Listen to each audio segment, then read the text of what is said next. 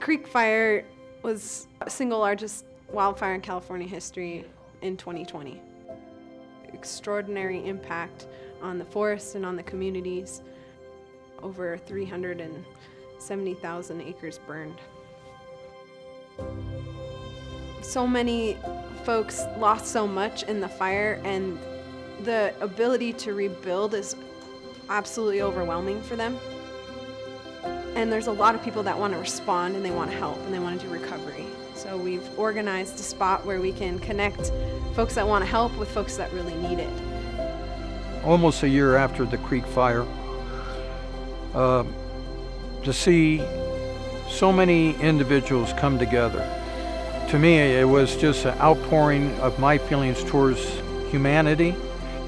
It wasn't a generational, it wasn't political, ideological, based on religion. It's everybody coming together at that moment. And you say to yourself, why can't we do that all the time? What a what an impact. I mean, we got a lot of work done that day. For people who really had no experience or very little experience or even were kids.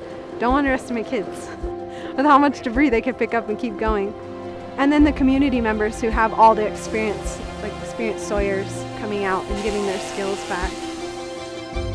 That day was definitely memorable. Being a young person thrust into a humongous disaster and being able to provide leadership was an honor and a privilege. I don't think that this story of fire that we have right now is something that we can't overcome. It's definitely something that we can do. We've done it before, but it takes a collective, and I'd love to be part of that regional answer as Sierra RCD with our forestry and watershed team to really provide the forest stewardship that we need for conservation for our future. And the California Fire Safe Council is absolutely a critical part of that. The expertise, the training, you're on the ground, you understand what it takes to work with communities.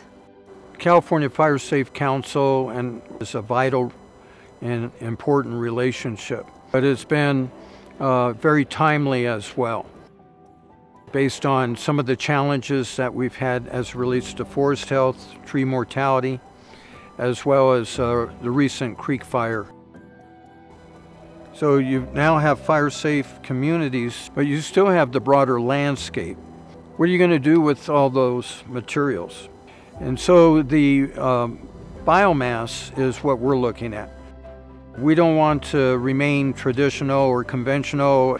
Uh, so what we see is taking those materials and converting them into useful products, biochar, organic carbon, renewable natural gas, and at a community level, and then scaling from there.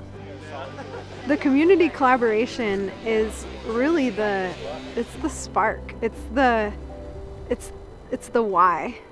It brings hope to people who, you know, may feel forgotten. You know, they live up in the mountains for a reason, but everyone needs community.